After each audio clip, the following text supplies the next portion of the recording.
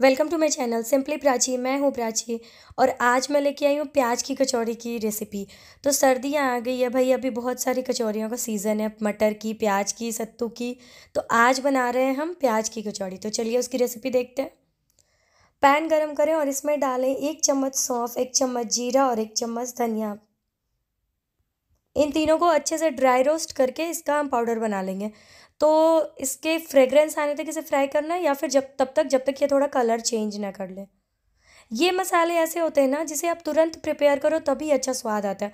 अगर आप बना के रख दोगे तो फिर उतना स्वाद नहीं आएगा जो तुरंत बनाने पे आएगा। तो मैंने ड्राई रोस्ट कर लिया ग्राइंडर में रख के थोड़ी देर साइड में रख दूँगी, ठंडा हो जाएगा, फिर उसका एक दरदरा पाउडर बना लूँगी, पूरा फाइन पाउडर नहीं बनाना है। पैन गरम ही है, उसमें मैं डाल रही हूँ एक बड़ा चम्मच सरसों का तेल। सरसों के तेल में ही स्वाद आएगा तो आप सरसों का तेल ही यूज़ करो। अगर आपको नहीं पसंद तो फिर आप जो भी कुकिंग ऑयल यूज़ करते हो, वो कर लो। तेल को अच्छे से गर्म होने दें, उसमें डालें दो बारीक कटी हुई हरी मिर्च। मिर्ची को बहुत बारीक कट करके रखना और कुछ सेकंड के लिए फ्राई कर देना, जब तक वो थोड़े क्रिस्पी टाइप के जो हो जाते हैं ना, वैसे तो वो थर्टी सेकेंड में हो जाएँगे। उसके बाद मैं यहाँ पे डाल रही हूँ एक कप बारीक कटा हुआ प्याज। इसे हम सॉफ्ट होने तक भुनेंगे और गैस का आँच कम नहीं करना है। फ्लेम को मीडियम रखना है।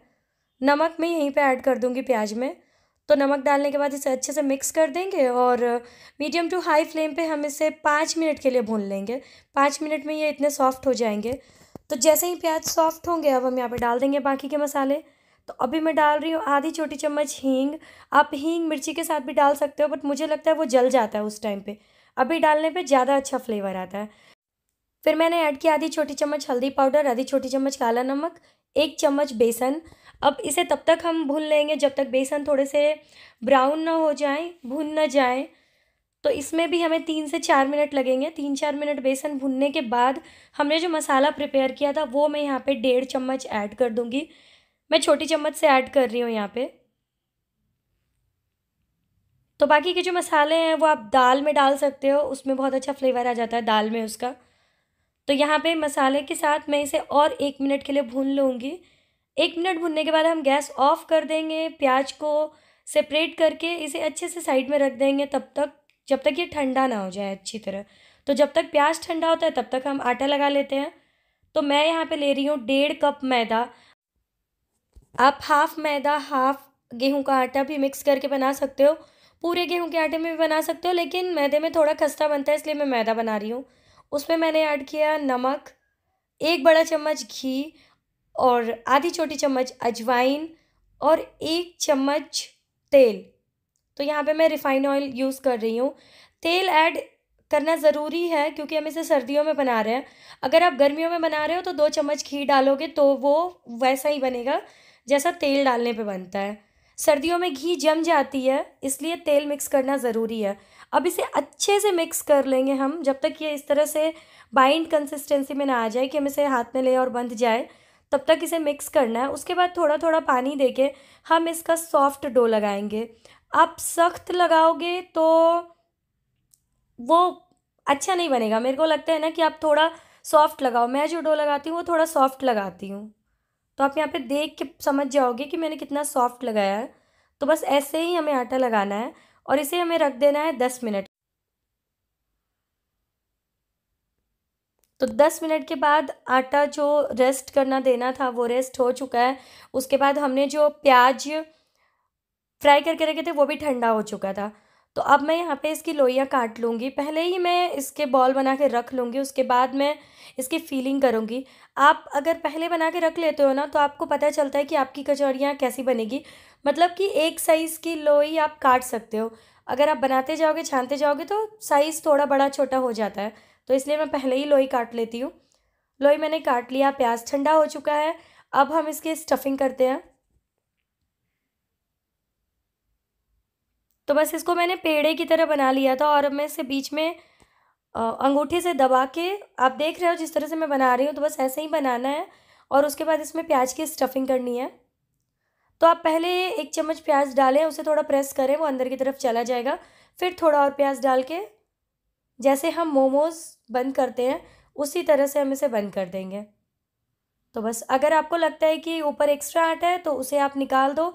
अगर आपको लगता है कि थोड़ा बहुत ही है तो उसे आप वहीं पे प्रेस कर लो और इस तरह से सारी लोइयाँ मैं बना लूँगी कचौड़ी की। तो यहाँ मैंने पूरी कचौड़ी की लोइयाँ तैयार कर ली है। तेल हमारा गर्म हो चुका है यहाँ पे। तो अब हम कचौड़ी फ्राई करते हैं। तो कचौड़ी को जो हम फ्राई करेंगे, वो मीडियम टू लो फ्लेम पे आप करो। तो सबसे पहले मैं यहाँ पे थोड़ा सा आटा डाल के देख रही हूँ, तेल गरम हुआ है कि नहीं? अगर आटा ऊपर आ जाता है मतलब कि तेल गरम हो चुका है तो आटा ऊपर आ गया था, मैंने उसे साइड में निकाल दिया है। अब मैं कचौड़ियाँ तलूँगी। तो इस तरह से कचौड़ी को बस हाथ से थोड़ा प्रेस करके थोड़ा सा कचौड़ी के शेप में दे देना है। बेलना नहीं है इसे। तो बस, ऐसे ही अब मैं इसे फ्राई कर लूँगी। कचौड़ियों को फ्राई करते टाइम गैस का फ्लेम मीडियम टू हाई रखें, क्योंकि अगर आप हाई रखोगे तो कचौड़ियाँ ऊपर से जल जाएँगी मतलब अच्छा कलर आ जाएगा, लेकिन अंदर कच्चा रह जाएगा। और अगर आप लो करोगे तो तेल पी जाएगी कचौड़ियाँ। तो मीडियम टू हाई फ्लेम पे जब आप इसे रख के कुक करोगे तो कचौड़ियाँ तेल भी कम सोखेगी और अंदर से भी अच्छे से पकेगी।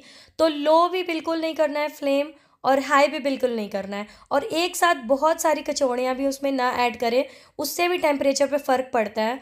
तो मैंने यहाँ पे दो डाला था, मुझे लगा कि एक और डाल सकते हैं तो फिर मैंने एक डाला। और अब इसे अच्छे से अलट पलट करके मीडियम टू हाई फ्लेम पे मैं इसे गोल्डन ब्राउन होने तक फ्राई कर लूँगी। तो आप देख सकते हो धीरे धीरे कलर आना शुरू हो गया है। तो बस, यहाँ पे मेरी कचौड़ियाँ बन के तैयार है। इसे मैं निकाल लूँगी अब। इसी तरह से बाकी की कचौड़ियों को भी फ्राई करके आप एक टिश्यू पेपर पर निकालें, जिससे कि जो इसका एक्स्ट्रा ऑयल होगा, वो निकल जाएगा। तो एक बार इस कचौड़ी को ज़रूर ट्राई करें इन सर्दियों में। वीकेंड आ रहा है वीकेंड पे कर लो। बहुत अच्छी बनती है, बहुत खस्ता बनती है और फ्लेवरफुल रहती है। तो मसाले को जो प्रिपेयर करना, वो तुरंत प्रिपेयर करना और इस कचौड़ी को आप एक से दो दिन तक आराम से रख सकते हो।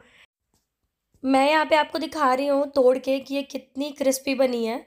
देखने से आपको समझ में आएगा और इसकी फिलिंग भी अच्छी खासी है। तो वीडियो जैसी भी लगी हो लाइक ज़रूर करना। फिर मिलते हैं कल, तब तक के लिए बाय टेक केयर